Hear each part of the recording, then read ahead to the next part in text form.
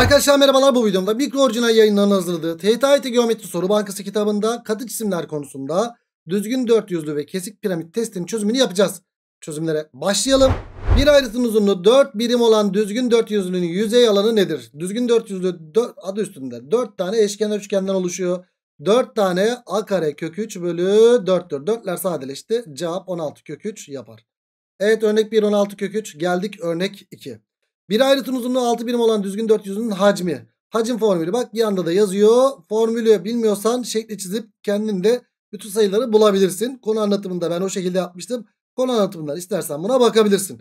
Evet direkt ne diyeceğiz? Hacim a küp kök 2 bölü 12'ye eşit.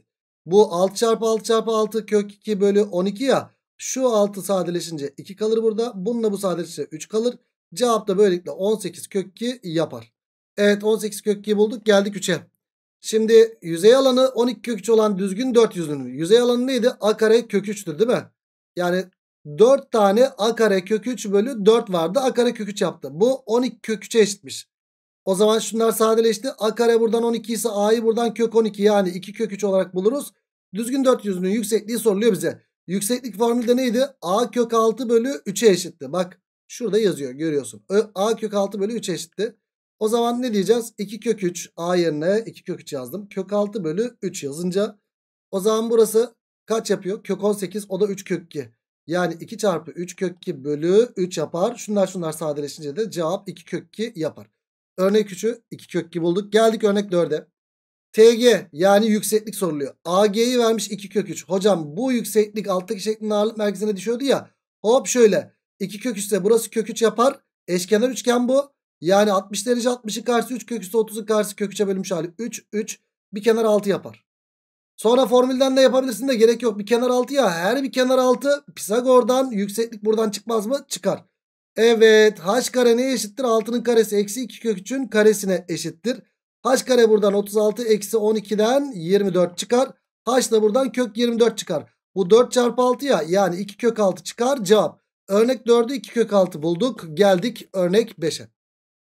Şimdi şunlar haş haş yani şunlar birbirine eşit değil midir? Evet. Şimdi ne diyor? Buna göre oluşan kesik piramidin hacmi şurada küçük piramidin hacmine kaç katıdır diye soruluyor. Arkadaşlar benzerlik oranı kaç burada? 1 bölü 2 benzerlik oranının kübü hacimler oranına eşittir.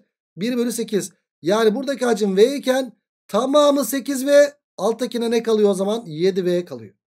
Bizden ne isteniyor? Kesik piramidin hacminin yani 7V'nin Şurada küçük piramidin hacmine oranı V'ye oranı isteniyor. Cevap böylelikle 7 çıkar. Örnek 5'te. Örnek 6'dayız. Bak benzerlik oranı 2 bölü 3 değil mi? Evet 2 bölü 3. Yani aslında buradası 2K ise burası 3K deyip buraya da K diyebiliriz. Şimdi neler verilmiş bana? Küçük piramidin hacmi verilmiş. Böyle kesildiği zaman. 8. Kesik piramidin hacmi nedir diye soruluyor. Alttaki piramidin hacmi soruluyor bana.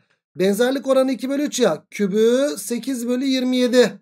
Yani burası 8V iken tamamı 27 ve buraya 19V mi kalacak? Evet.